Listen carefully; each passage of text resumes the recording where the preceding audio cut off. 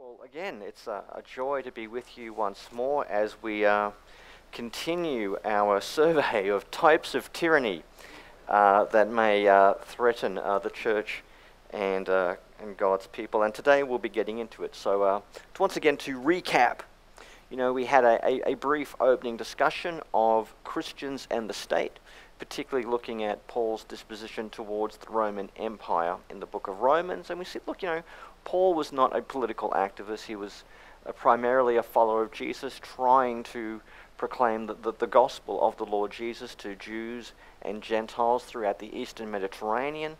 But he did believe that there was going to be an inevitable col- uh, collusion between the claims of Christ and the claims of Caesar. Uh, a collusion, uh, or a collision, I should say, that would be uh, remedied in the final assize when uh, Christ would be revealed as Lord of all. And then in the second lecture, we, we, we looked kind of a bit at Romans 13 about submission to governing authorities. And then we want to know about the exception. Uh, when is it okay to disobey? And this is something that people have wrestled with through a lot of history, particularly you know, during the, uh, the British Civil War with the execution of the king, the American War of Independence, uh, the uh, American Civil War as well, and in many other places around the world. When do we submit to governing authorities? And when do we resist them? And then we also discussed briefly how we might resist them. Uh, when should we engage in civil disobedience? And there is, is there even uh, a ethical justification sometimes for uncivil disobedience? Uh, today I'm going to look at the types of groups, uh, the sort of authoritarian groups we may want to consist, uh, consider, consider resisting in the present, but we have to do that principally by looking at the past. Uh, one of the best books I've, um, I've read in recent years is by a, uh, a historian called Timothy Snyder. Now, he's an expert on the Second World War, particularly on the land of Ukraine. He wrote a book called Bloodlands that shows how uh, Ukraine and you know Lithuania, Latvia, and, and, and that, that whole Eastern European theater was really decimated uh, by both the Nazis and the Soviets. And the Bloodlands is an, is an appropriate term for the horrific war crimes and terrible deeds that were done to the inhabitants of that region. But he also did a very good little book called On Tyranny. I mean, it's almost like a pamphlet. And, and I would, I very rarely commend people's books beyond my own. I um, you know, uh, I tell people, you know, buying my own books, buying, buying my books is my love language. Um, but before you read any of mine, uh, I would ask you to either purchase his book on tyranny, it's only like, like five or six dollars, or get down the audio book. It's more like a pamphlet. It's, it's like an extended pamphlet. It's a good little read. It's about, you know, if you've got a two-hour drive somewhere, you can listen to it on the, on the drive to where you're going. It's called On Tyranny, and it's, uh, it's a great warning about how easily a free country can be uh, put under the yoke of an authoritarian regime. And the good thing about it, he doesn't just warn about right wing uh, authoritarians, he also warns of left wing uh, authoritarians, as exemplified by the Soviet Union and Eastern Europe. So that, that's a book I would contend. And I think we have to think, uh, we have to acknowledge that when we think of authoritarianism, we do have some very good examples from the 20th century in both uh, Nazism and the communism as particularly found in the Soviet Union. Now, we all know the Nazis. Na- na- Nazis are, are, the, are, the, quintessential background. Everyone you hate at some point gets called a Nazi. You know, uh, you know every, every, I mean, the term Nazi is, is now used uh, so freely becomes practically meaning, meaningless. It basically means bad people or people I don't like. Uh, Tom Holland, not the not Spider-Man, the um, the British historian, um, he, has he has an interesting uh, proposal. He argues that Nazis have eclipsed uh, Satan as the ultimate symbol of evil in Western civilization. So the Nazis have uh, have re- literally replaced Satan when we think of the ultimate form of evil. So, so and I think that rings true. You know, we, we, we think of them as the ultimate evil. Uh, I mean, and this is despite the fact that you could argue that um, you know, between Stalin and Mao, they possibly killed far more people than the the uh, German regime uh, ever did. But here's the thing when it comes to, to, to Nazis and types of fascism, we always like to think, well, you know, if I lived in Germany in the 1930s, you know, I would have been there, you know, right beside Dietrich Bonhoeffer the whole time, you know, on his team. You know, I, I would never have been suckered or seduced by the propaganda and the rhetoric of Hitler and the Nazis. Uh, but you you have to understand that uh, the, the, the German Nazi Party was an incredibly, an incredibly seductive proposal, which is precisely why it was so uh, successful. It, it, it, it, propo it proposed and promised an immediate fixed parliamentary gridlock. It led to an end of economic chaos. It refused to bow down to the crushing indemnities and humiliating conditions of the, of the First World War. And Nazism was not an alien political doctrine that appeared out of nowhere. Nazism succeeded because it embodied what many people already believed or wanted to believe. And Nazism had something for everyone. It was an incredibly eclectic worldview. You had Darwinian science, even pseudosciences like eugenics. You had aspects of Lutheranism, the philosophy of Nietzsche, the music of, of Wagner, Nordic mythology, anti Jewish conspiracy theories, idealized versions of masculinity, nationalism, militarism, anti communism, even a belief in the magical power of ancient artifacts, as we learn from Raiders of the Lost Ark. I mean, it had something for everyone. Nazism appeared to be, you know, scientific, spiritual, progressive, and effective. The new type of civilization that the world needed.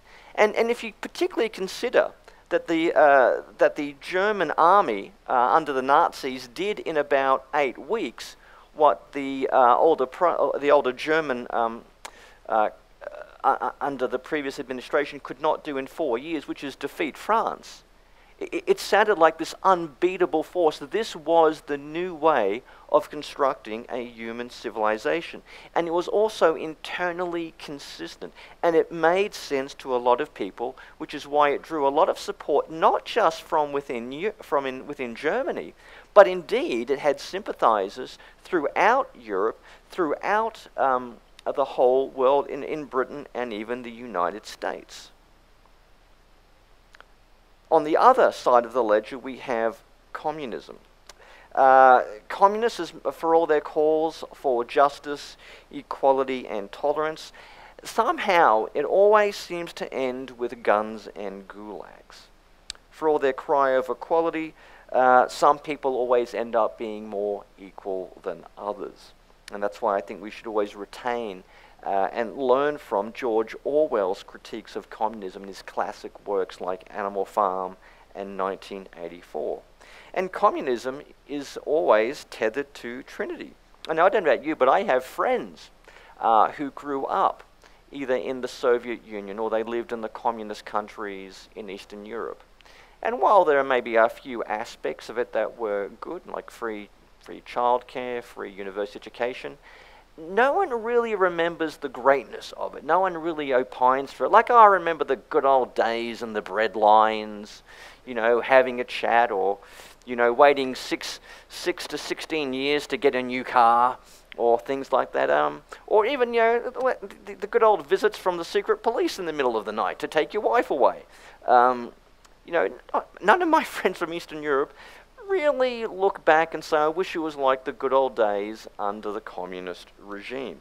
Uh, ordinarily, they regard it with dread, loathing, and even a fair share of trauma.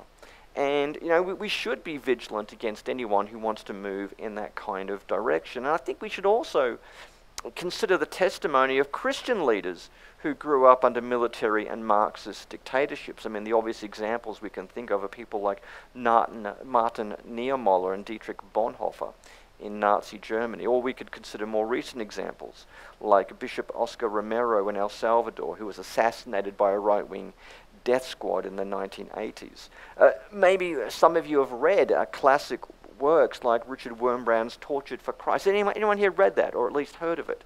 Uh, if you haven't read it, I strongly suggest you do. It is a classic work about the persecution of Christians in, uh, in Eastern Europe.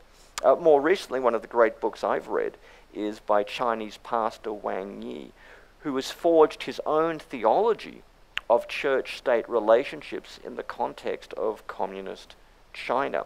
And I mean, you know, there's, there's, there's one thing to think about church and state relationships when the, the biggest issues before you are, you know, Donald Trump or Roe v. Wade or Justin Trudeau's view of, you know, religious freedom vis-a-vis LGBTI rights. I mean, that's one set of issues. But it's another thing to think about church and state relationships when your pastor has been arrested by the police and he's not even able to see a defense attorney. I mean, that's, that's, a, that's, a, that's a different degree of hostility you have from the state. And this is something that Pastor uh, Wang Yi said to one of his police interrogators. This is, this is, uh, th- this is such of his fortitude and bravery. He says, I am telling you about a power that will last forever. But this power does not demand land, swords, or, or the authority in this day. On the contrary, it is willing to humble itself and submit to the swords and authorities on earth. If you want to use earthly power today to oppress the eternal power, this scripture has already, already revealed the end result. History is Christ written large, not Xi Jinping written large. Um, now, that is what we would call a. Uh, to say that to your police interrogators is what in the military we would call an act of testicular fortitude. Uh, it takes it takes a lot of it takes a lot of chutzpah uh, to say that to your interrogators, and that's why we should remember, learn from, commemorate Christian leaders across the world against both fascists and communists or dictatorships of all kinds. The, the Christian men and women who have stood up to them and says, Jesus is Lord. You're just a parody, you're just a puppet of a diabolical power in this world, and one day you will get what you deserve. We should remember those leaders. But what about the issues that we're facing uh, today, uh, particularly in the, in the Christian West? I want to suggest uh, we are facing a similar seduction, the danger of Christian nationalism. And then on the more uh, left wing side, we have the danger of a soft, progressive authoritarianism. Now, I will contend that Christian nationalism is a danger to, to Christians and non Christians alike. Now, it, it very much depends what you mean by Christian nationalism. Okay, the belief that Christians should be involved in politics. I do not think that is Christian nationalism. You know, William Wilberforce was a Christian in politics, and he had a great influence. Uh, the idea that we can remember and celebrate the Christian heritage of our country or the contribution to Christian values to our liberal democracy, that is not Christian nationalism. When I refer to Christian nationalism, I'm talking about the view that Christianity must be hegemonic. We must have Christians in charge, and Christians must not be promoting their values, they must be legislating their values, even if it goes against the consent of those governed. And look, I mean, there's all sorts of things we could also go into. For, for instance, you know, that the Church of Sweden, the Church of England kind of have established churches. Uh, do we consider them a type of Christian nationalism? Uh, well, to a degree, they do have a much closer relationship with the state than what you find in other jurisdictions in the world. But, but even that, I don't think they necessarily go in the direction of a pernicious Christian nationalism. They can still be part of tolerant and inclusive liberal democracies with their own varieties of secularism. But when we come to the topic of Christian nationalism, we only have to look south of the border to see some of the problems it can lead to. We can see the messianizing of leaders to prop an imagined Christian country or Christian empire. And that can have dire consequences for social freedoms and even prove uh, injurious to the integrity of the church's own witness. The danger is Christianity becomes not simply an ethic, for which we engage in politics, Christianity simply becomes a prop for politics. As if the real religion is politics and Christianity is just one leg in the stool or one ingredient that goes into this uh, particular politically partisan cake that people are making. And we should always, we should always be very concerned about someone who claims both political authority and the summit of religious authority. Someone who claims to be both high priest, in effect, of Christians and the king. In fact, the Bible has a very special word for someone who tries to combine the offices of king and high priest, and that technical word is antichrist. Someone who wants to be both, if you like, pope and president at the same time, uh, that's never a very good combination, certainly not in the ancient world, nor in the present. Christian nationalism of the type we're describing uh, is often based on the idea that unless Christianity is hegemonic and has complete control or, or can curate society along its own lines, then Christians will end up being on the receiving end of persecution. And, and that's not uh, simply true. And it also results in many political leaders merely feigning or pretending to be religious to win favor with their constituents. And then Christianity can even be used to justify unchristian policies and actions related to wars, immigration, income inequality, um, healthcare, and a myriad of other issues. And it always helps to remember that even the devil can quote scripture and try to rub it into the face of Jesus. But there's one other problem with Christian nationalism, and for me it's a fairly obvious one. Which type of Christianity should be in charge? Uh, I have to say, I've always found it a little bit comical that some of my, uh, my, my, some of my Baptist friends south of the border seem to be the biggest enthusiasts for some version of Christian nationalism. And that's because the Baptist tradition, dare I say, the genius of the Baptist tradition, has always been uh, that it's advocated for the separation of church and state. In order to preserve the freedom and autonomy of Baptist churches from interference, certainly by the state, Baptists, going back to the Anabaptists and the English Baptists, both wings of the, of the Baptist tradition, have always championed uh, the separation of church and state because they don't want a pope prime minister or king telling them how to do their religion. And, and, and, this is, I think this is fairly obvious. So if you say, look, we want to, we want to be a Christian nation, we want to be, uh, have a Christian nationalist leader in charge, the problem is, well, which version of Christianity would you like to put in charge? Now, let's just say that you elected me Prime Minister of Canada. And let's say I got drunk with power, as I probably would do, you know, actually, if I was if I was ever elected to public office, you know, do you know do you know the, my rule would be truly biblical? Do you know do you know what would be the verse governing my term in office? It would be Luke 19:27. That would be the verse that would typify my reign as leader. Do you know what Luke 19:27 says? As for those who did not want me to rule over them, bring them before me and slaughter them.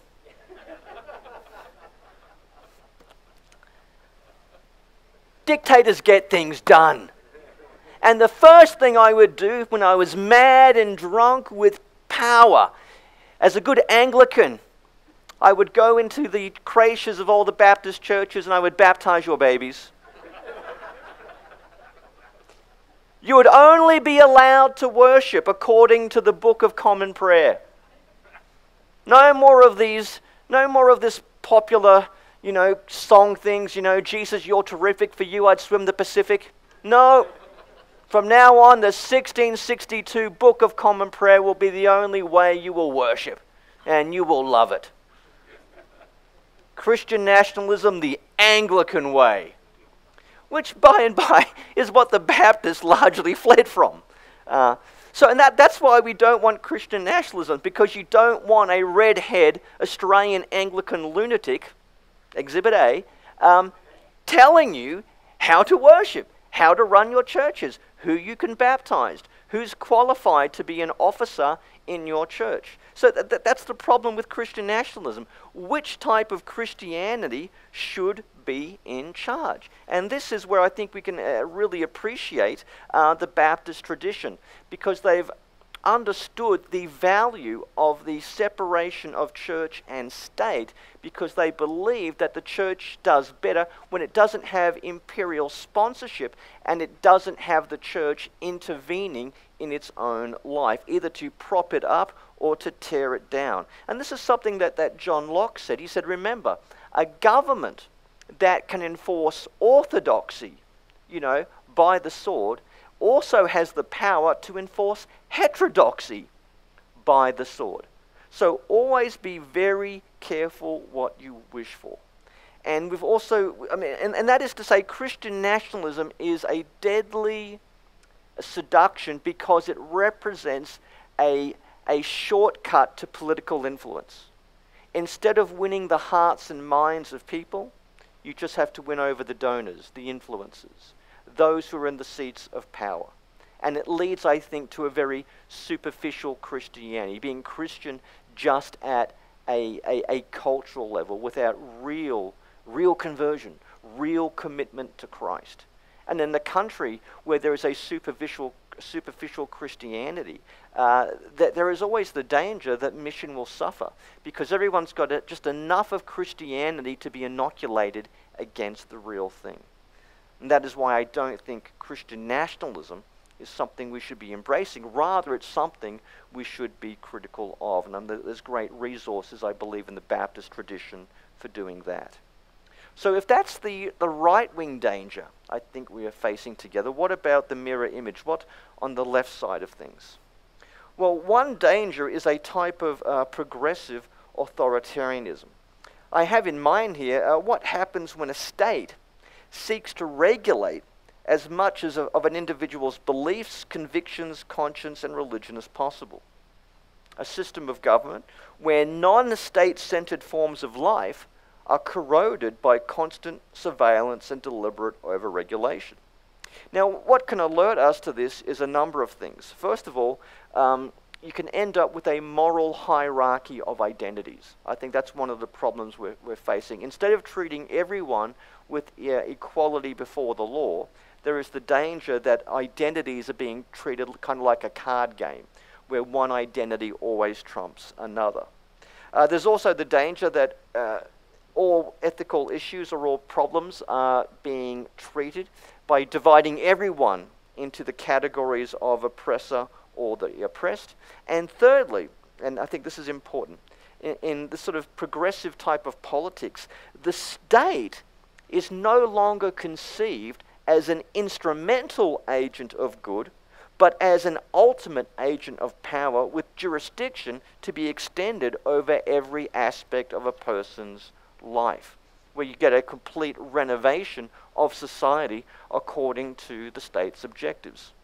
In other words, what we are concerned here with is a progressive post liberal order that does not value the right to dissent, does not value ideological diversity, accept the necessity of public debate, and does not tolerate religions or perspectives that it cannot dictate to.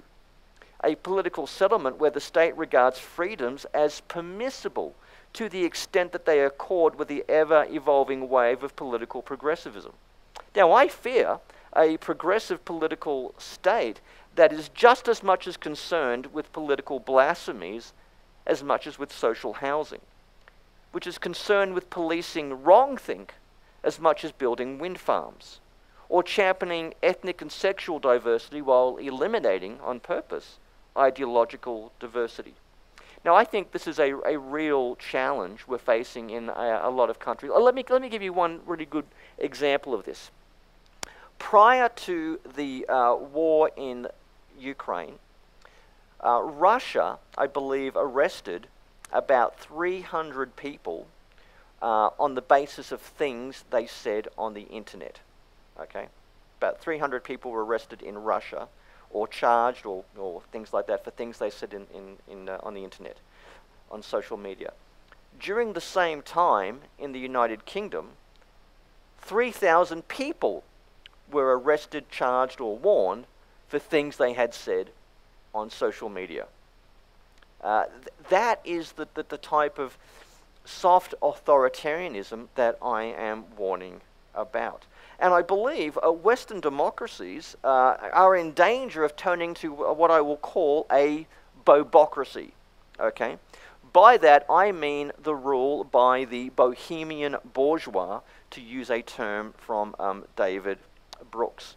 Um, I'm talking about people um, who have very progressive values, very um, everything's often about the environment, and uh, they like tattoos and cannabis flavored tofu. Okay? Uh, but they're very much in the influence uh, professions and in the uh, upper levels of the bureaucracy. These bobos, you know, the bohemian bourgeois, are a group of mostly white, rich, upper middle class elites in politics, media, and influencer professions with niche progressive values, who often exhibit deep resentment to the working class or to rural people, despise them for their pastimes, pieties, and their, uh, their penchant for populist rather than paternal leaders. The danger posed by these, you know, bobos is more than big government or, you know, empty virtue signaling. It is a government consciously committed to a radical socio-political project of attempting to redefine what it means to be a human being and the relationship of citizens to the states. Uh, many political progressives see Christianity as the number one enemy against which they are struggling. As such, Christian communities, institutions, and cultural influence and moral vision is the darkness against which their post Enlightenment uh, crusade is intended to shine. Christianity's influence then can only be eliminated by realigning institutions towards a more secularized morality, by narrowing the parameters of religious freedom, and by a coercive uh, catharsis of religion itself, and by deconstructing the resident fixtures of history, law, and even biology. In the end, the progressive political vision amounts to what the American political philosopher Stephen Macedo calls civic totalism. Now, I want you to remember that phrase because I think that sums up um, the soft authoritarianism of a number of uh, uh left wing governments in the Western world. Now, in civic totalism, the state is meant to be invested with all power and seeks to regulate as much of public and private life as possible. Uh, consequently, religion within civic totalism is regarded as somewhat dangerous or unstable because religion ascribes notions of ultimacy to something other than the state and the state's vision for the public good. Uh, now, you could note historically that tyrants like Herod, Nero, or any contemporary example always fly into fits of rage when they find out that there is another king to whom people are paying homage. Similarly, for civic totalists, the danger of religion is that it creates a competing social vision and an alternative morality, which divides the loyalty of citizens away from the state's objectives for human conduct, rendering certain forms of religion as hostiles to the state's ambition. In civic totalism, religion is permitted, but it is either a state approved religion, or more to the point, politics is the religion let me tell you this in a godless age, there will still be gods. But people's religious entity and their worshipping proclivities will be translated into the political realm. Civic totalists are irreligious only for the reason that they have found new outlets for religious devotion, a devotion which is directed towards them. And it's a devotion that sometimes requires mandatory participation. As such, in civic totalism, the ruling regime must be defended by, says Macedo, a shared account of basic civic, civic values that imposes limits and what can be true in the religious sphere. This is why the German philosopher Jürgen Habermas contended that the consciousness of the faithful must be modernized and forced to acquiesce and accept the individualistic and egalitarian nature of the laws of the secular community. In other words, the government has to boss about religious communities and tell them what they can and cannot believe. This is not merely religion within the limits of reason, it's religion within the limits of the progressive vision. Now, the, the totalist ambition of, the, uh, of this Bohemian, uh, Bohemian, let me say it again, Bohemian regime, let's call it that, uh, this is not directly as confrontational or intrusive as fascism or communism. But when you have an elite class who have an inability to accept notions of difference and dissent, combined with anxieties over the perceived disloyalties of the working class, And then there's an antipathy towards people of faith and a desperate need to silence cr- critics.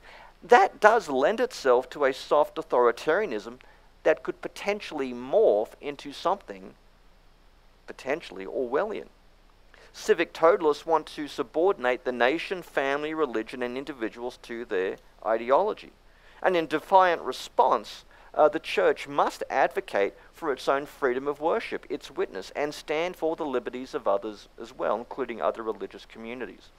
Uh, Laura Al- Alexander says something here that I think is quite right. She says, The purpose of the state is to promote human well being by providing order, protection, and material and social goods that allow people to live reasonably stable lives and pursue good and meaningful ends. Fair enough. But then she adds something, a very important caveat. She says, the state is not itself an ultimate end to be pursued or an ultimate authority that merits people's highest loyalty.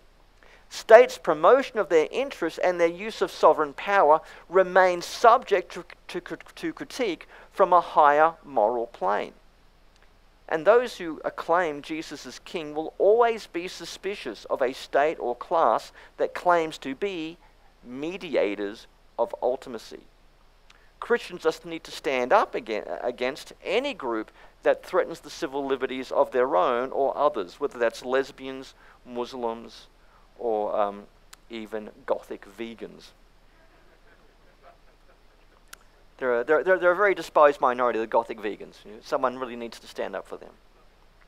Okay. Look, every church around the world, whether you're in Nigeria, Nicaragua, or even in New Brunswick, uh, we have to adjust, address the problems that confront us injustice, oppression, tyranny, and seek our own way of being a city on a hill.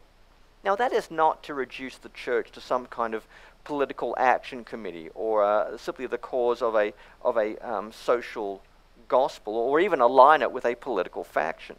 But it's to affirm what we all know is intuit- intuitively true that our evangelical convictions about God putting the world to rights are only as strong as the evils we tolerate.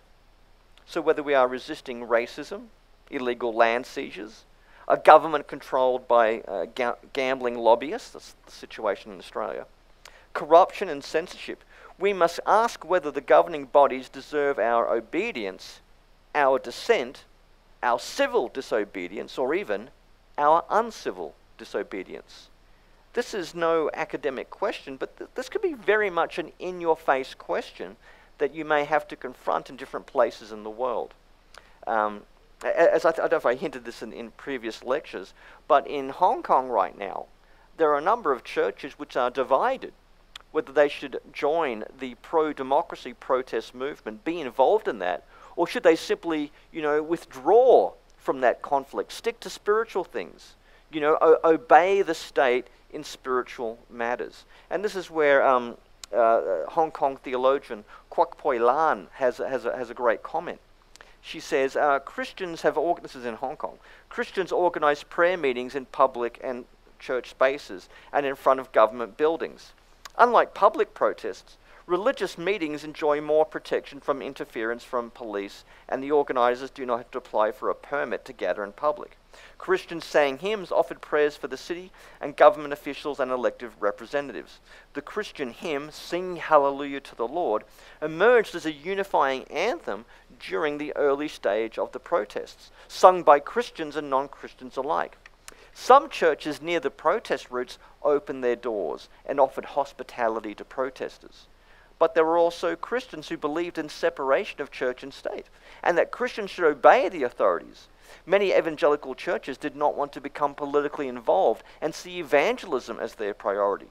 These divergent opinions have split local churches and denominations in Hong Kong, with some members leaving their local churches because of their dissatisfaction with the church's response to the protests.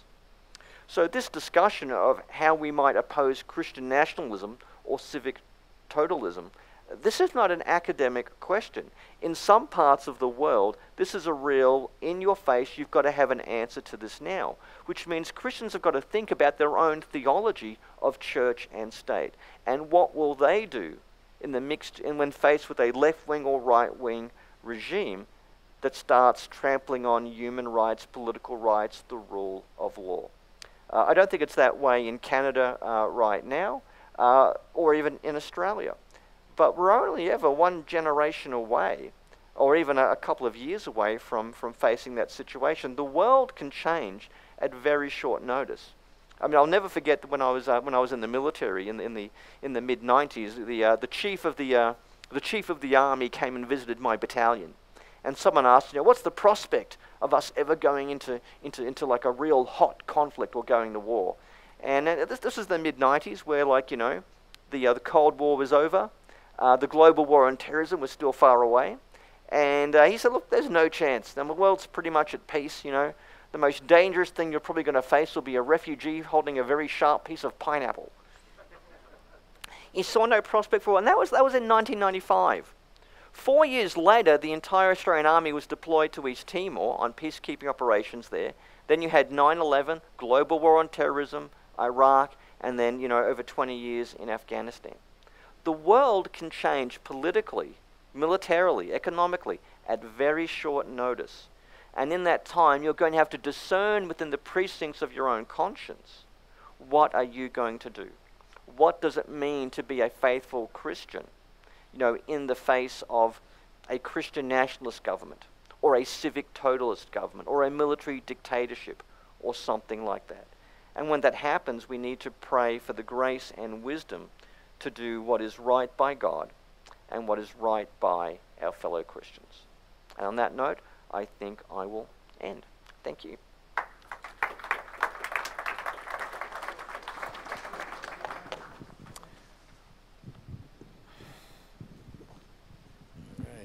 So some of you are back here in the back. I want to make sure you get an opportunity too. And uh, Ben?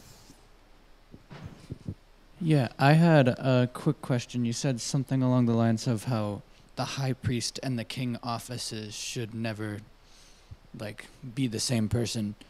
So I just want to ask a quick question about how you would see the order of Melchizedek or how Melchizedek acts in the Bible, both in Genesis and in Hebrews. Just general thoughts on him.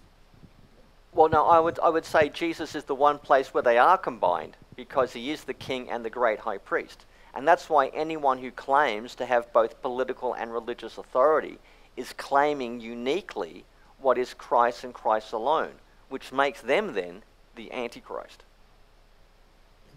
Right? Someone else? Right here? No?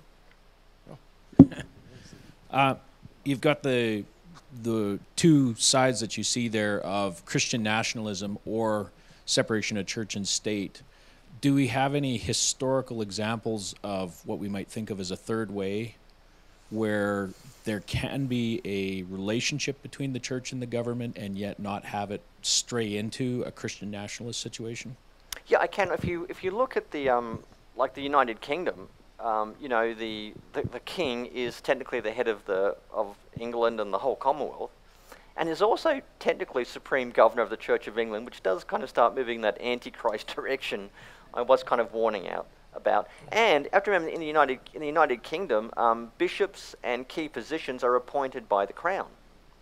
Uh, so you, you, you, do have a kind of established church and a, a, a very close relationship between church and state in the United Kingdom, albeit uh, with a certain degree of secularity at the same time. But just, just consider this at the moment, even with a, an established church, okay, at the moment in the UK you have a Christian king, a Hindu prime minister, an atheist opposition leader, a Buddhist home secretary, and a Muslim first minister of Scotland. So even with an established church, you still have a pluralistic and participationist liberal democracy. Uh, so, I, but I think that's because of the unique heritage of the United Kingdom it, it, itself. So maybe that's the exception that proves the rule, but I think there are instances where you can have Christianity somewhat uh, embedded or operating closely to the state, and it doesn't have to end up in Christian nationalism. So, yeah, I mean, th- there are some examples. I would say even if you have a separation of church and state, there are degrees of separation. So, I, don't know about, about Canada, but we have, uh, we have Christian chaplains in the Australian military. You know, we have chaplains in state-funded hospitals. Uh, also, a lot of charities like the Salvation Army or World Vision often receives federal grants. Okay, so there, there are di different levels of separation between church and state, and I think church and state can sometimes work together for the common good. Now, for some people, any cooperation or any relationship between church and state is simply anathema, if you like. Uh, I'm, I'm less skeptical of that. I, I, I think um, church and state can work together for the common good, albeit there are, there are risks and seductions. Uh, certainly in the Australian school system, where 15% of um, kids are in a Christian school, uh, those Christian schools are still partially federally funded. Not completely, but partially fed federally funded. And you know the old saying, he who pays the piper calls the tune? Uh, that is currently one of the issues we're facing in Australia.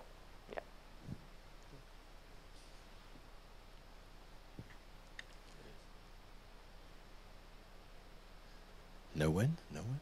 Huh? Okay.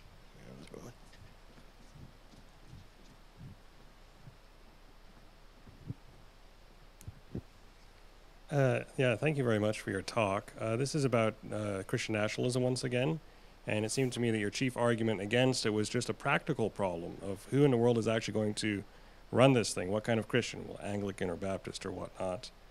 Um, my understanding is that the standard Christian nationalist response is to accept that practical problem, but to say we'd much rather have you know an Australian Anglican running the show than what will really be the only other alternative, which is, as you called it, the bobocracy. Yeah. That there's not oh, going to be I don't know. Once, once you've been under my lash, maybe once maybe. you've been under the lash of Mike, I reckon yeah. Justin Trudeau will start to look pretty good. Yeah. I think, you know. Um, well, yeah, I did say that was the practical problem, but I also said um, there is that there is the issue of the corruption of power. Power does corrupt, okay, and it will also lead to a superficial cultural Christianity. And historically, you could say, look, Christians do not need to be in power in order to thrive. The church in Iran is, is growing, okay? And I can also point out, if you look at other parts of the world, like Christians in India, you don't have Christians in India saying, this nation belongs to God and these Hindus have stolen it for us. We need to make India Christian again. Uh, you, you don't find Christians in India making that argument. Okay? Uh, really, what they want is the ability to be left alone uh, uh, from persecution from Hindu nationalists. That's what Christians in India want. So it's, it's somewhat unique to the American or the Western context, mm. the idea that we need to return Christianity to its ascendancy. What we need, uh, I think, are our freedoms, not hegemony. And sometimes we don't know the difference between the two. So let, let me give you an example of that. In the Australian Parliament, it's still a custom to begin every day saying the Lord's Prayer. So whenever the Parliament meets, they say the Lord's Prayer. Now, at one level, you know, I, I think praying the Lord's Prayer is a pretty good idea for everyone. You know, it's a great way. It recognizes our Christian heritage, since that has forged, uh, those values have forged uh, the liberal democracy that we enjoy. But to be perfectly honest, you, could say there is a danger that it leads to a nominal Christianity, or it suggests that Christianity should be hegemonic and privileged. Uh, for that reason, I, I, think I would be in favour of beginning uh, the Parliament, as, as some have suggested, not with the Lord's Prayer, but simply a few brief moments for silent reflection and prayer. Because that, that way it's, it's not casting Christianity as the default religion in, in the parliament and in the country because at the end of the day, the parliament is there to represent all citizens. It is the parliament for people of all faiths and none. Hello. Um, so we tend to to see two pictures in the Old Testament in related to politics. Uh, Joseph in a empire, Egypt empire, and uh, Daniel in the Babylon. Uh, both of them, they never started a political career. Uh, they just were there uh, by the Lord, were put there by the Lord. And even Daniel, uh, his civil disobedience was almost going to cost his life, and he was saved by by God. And on the other hand, on the New Testament, we have Jesus, uh, who was the king, who is the king, and he had everything to to to get on the top of the empire of that time, and he decided not to do and to stay on on a line. And on the other hand, we have Paul. Uh, of course, I am not Mm. putting him on the same uh, level as Jesus, but he had everything to be even governor of Judea since he was a, a Pharisee and a Roman.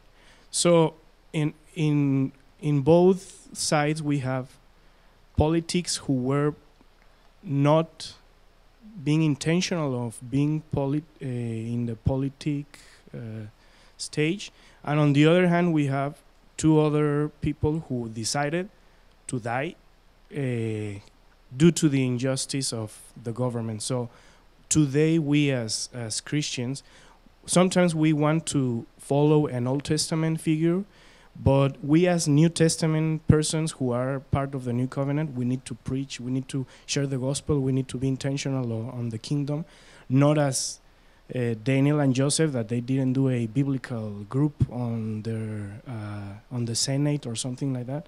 So for us, it's kind of difficult, and my question would be, where are we on the non-intentional but uh, favored by the Lord, or behind the line and just working for the kingdom and accepting the fact that Jesus died, Paul died, and even Bonhoeffer at the end, he died uh, on in on the Nazi stage. Yep. Where, where are we? Where should we be? Uh, well, it's, it's, where sh- it's where should we be, uh, is where the Lord has put us. Uh, and it, it, there's a difference for being a Christian in Iran, in Ukraine, in Nigeria, or Canada. And you're going to face different challenges. So sometimes, like I said, I said yesterday, sometimes, it, it, like Romans 13, submit to governing authorities, and that's fine. But other times, it's Revelation 13. You've got to pray that God brings this whole totalitarian beast crumbling down. Uh, sometimes we're called to be to play the role of Joseph. Um, other times we're called uh, to play the role of, of Daniel. Sometimes we are we are called to play the, these you know these different roles. Uh, if you like, sometimes we're called to play the role of Esther, um, or sometimes you know that, that's you know, or John the Baptist. Uh, it's always going to depend upon your context. I can't say there's one biblical example we should follow. It's always based on the context that you're in. Time for maybe one or two more. Uh, we'll go to the front. Hi, thank you for everything you've brought for us so far. Um, I am a big believer in the freedom of others to live their lives the way they want to because I want to enjoy those freedoms um, to live out my faith Yeah. for myself and my family. Um, but where would you, and I realize this is getting quite philosophical, where do you draw the lines if they're not religious and they're not from the government? In North American history, we have um, we can find cases of of people killing because they were they were working out their religious beliefs. Yep. Um, I don't want that level of freedom. Mm. so so how do we express that? How do we say that we want freedom for others to a point? Because the point is always drawn in my reality. Yeah, yeah. Uh, Norman, and this is, I mean, you'll be glad to know you're not the first person who's wrestled with this. Uh, and certainly when it comes to religion and law, you have the same issue. So normally it comes down to what is the degree of detriment that the expression of your religion may potentially burden others with.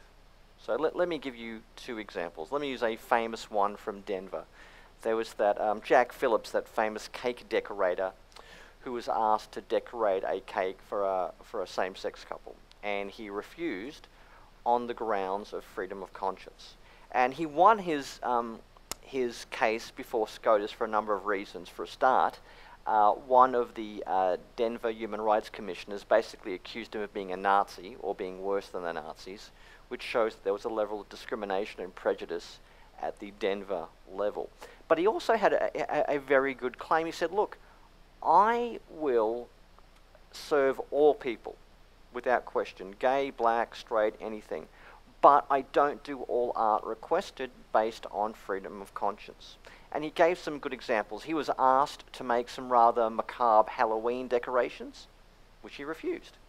He was asked to make some rather uh, bawdy um, cake decorations for a Bucks party, which he refused. He was also asked to bake a t- cake with a um, you know, anti-homosexual message on it, which he refused to do. And he said, this is just freedom of conscience. There's some types of art I just don't want to make. So he didn't discriminate against L- LGBT people in decorating a cake for them, like a birthday cake or, a, or anything, but he just, in good conscience, could not decorate a you know, same-sex marriage wedding cake. And that's why he won, partly why he won the, uh, the decision um, at, the, course. And you could argue as well, like, you know, if cake decorator is not hard to find. You know, so the fact that a cake decorator um, won't decorate your cake, probably sure you can find another one. And even if you can't find another one, no one's going to die over it. Okay, so that the degree of detriment there is pretty small. But imagine you've got a heart surgeon who's a Sunni Muslim who refuses to perform um, heart surgery on a Shia Muslim, okay, or something like, or, or some analogy like that. You could argue that the discrimination there is pretty big because it's a life-saving operation. Okay, so it always comes down to the degree of detriment that you are burdening other people with um, wanting to engage in child sacrifice, yeah, I think it's a pretty high degree of detriment. And, but for the most part, you know, it, it, it, comes, it comes down to um, managing differences within, within equality. Saying, look, within a multicultural, multi-faith world, we're going to have different views, different values. What is the best way for accommodating them and making sure that some groups, particularly minorities, are not unfavorably treated or discriminated at. Now, liberal democracy very much works on the idea that we all have basic freedoms, and those freedoms should be maximalized without being to each other's detriment. and that's, that's why we have things like equality before the law. This is why we have constitutions. The purpose of, um, you know, we, we, are not a, a, a democracy of the mob. We are a constitutional democracy, and constitutions protect minorities from the majority. That, that's their purpose. So, you know, in, in, the, in the same way, we should be going for equality before the law rather than using other mechanisms to solve these debates, like a hierarchy of identities. I don't think that's a good way to solve those sorts of differences. If we have a good um, constitutional framework, good anti-discrimination bills, and which, a, uh, which are fair and no one is uh, is burdened with someone else's conscience or religion, generally you can move forward on that. Now there can be a little bit of argy-bargy, as we would say in Australia, and I mean the epicenter of that is like you know between Christians and their views of family marriage and sexuality, and say the LGBT community. So, for example, can you sack your employee in a secular, if you're a secular business, can you sack, sack one of your employees for being gay or bisexual? Now, I think we would generally say no. I mean, because that means you're wrongly burdening them. But on the other hand, can you force a Muslim high school to to um, hire a gay atheist because you think the Muslims there need to be taught some diversity lessons? I'd argue that's a little bit, you know, you know, heavy-handed. Okay. So I mean, th- those are the sorts of issues that we're that they're wrestling with in many jurisdictions. But yeah, you're right. Um, religious freedom is good, but but what are the limits on the freedoms that we allow?